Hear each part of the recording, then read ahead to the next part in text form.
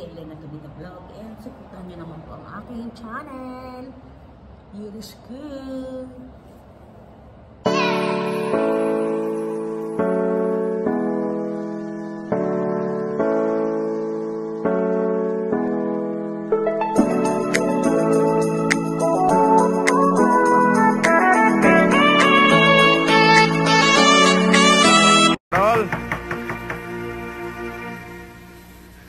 Carol, mag-usap tayo. Papasukin mo ako. Carol!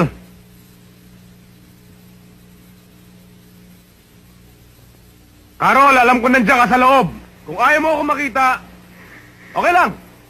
Pakinig ka na lang sa akin. Siguradong maririnig mo rin ako. Sa gusto mo man o ayaw mo, ha? Wala akong pakialam kahit na marinig tayo ng kapitbahay mo dito. Hmm?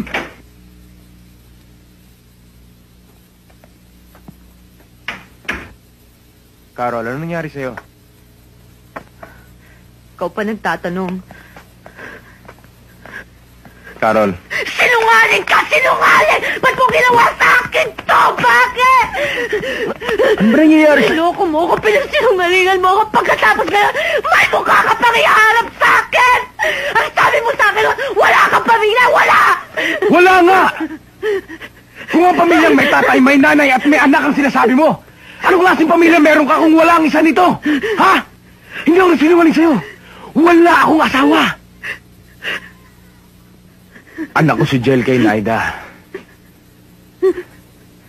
Hindi kami nagkatuluyan. Dahil pareho pa kaming bata noon. Mabuti na siguro yun. Naging malaya kami. May kanya-kanyang buhay. Hindi kami nagkatuluyan. Nagkahiwalay kami. Hindi ko pwede iwanan si Jel. Alam ko siya. Mahal ko siya. Bakit di mo agad sinabi sa akin? Pinaasa mo pa ako.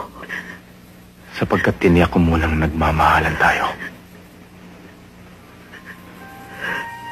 At saka umaasa pa rin ako, Carol. Umaasa ako matatanggap mo pa rin ako sa kabila ng lahat ng nalalaman mo tungkol sa akin. Umaasa rin ako na sapat ang pagmamahal mo upang matanggap mo rin si Jel, Carol. Ewan ko, Tonsi. Ewan ko. Napakalaki ng hinihiling mo sa akin.